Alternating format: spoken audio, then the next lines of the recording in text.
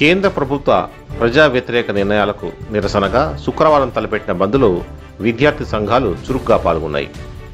ప్రొద్దుటూరు పట్టణంలోని విద్యార్థి యోజన ప్రజా సంఘాల ఐక్యవేదిక కన్వీనర్ నరేష్ కొండయ్యల ఆధ్వర్యంలో అన్ని విద్యా సంస్థలు బ్యాంకులు వ్యాపార సంస్థలు మూసివేయించారు.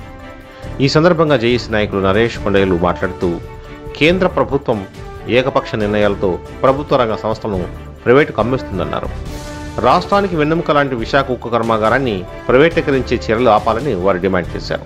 అలాగే శైల ఆధ్వర్యంలో కడపలో ఉక్కు కర్మాగారాన్ని ఏర్పాటు చేయాలని వారు కోరారు. ఈ కార్యక్రమంలో జేఏసీ నాయకులు ఓబులేసు కొండయ్య మహేష్ సురేష్ కుమార్ రాజు తదితరులు పాల్గొన్నారు.